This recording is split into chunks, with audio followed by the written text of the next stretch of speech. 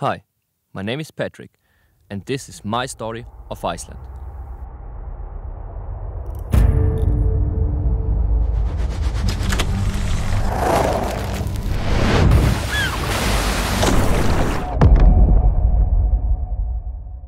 In October of 2022, me and my girlfriend was on a road trip on Iceland. On top of my bucket shot list was to capture the sunrise at the plane wreck of Sólheimasandur. And this is how it went.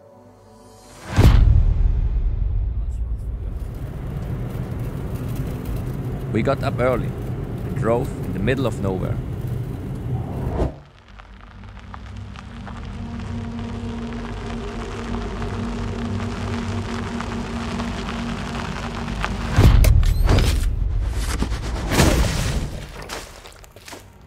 We left the car and started walking in complete darkness.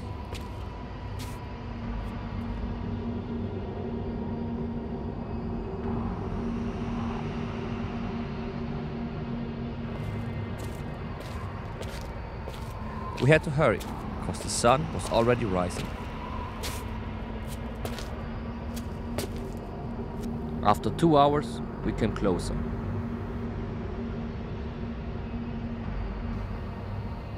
Finally, we arrived to the plane, but the weather was not play along.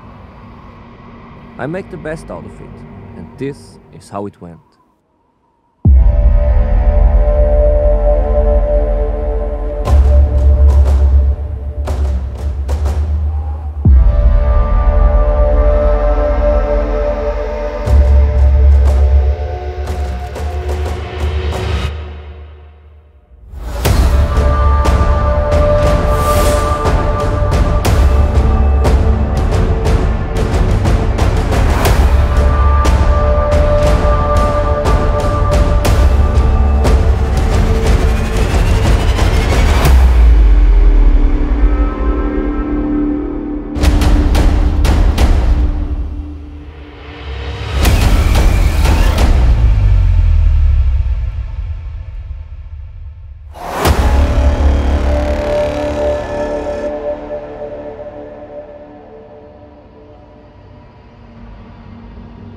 We missed the sunrise, but the whole experience was beyond my expectation.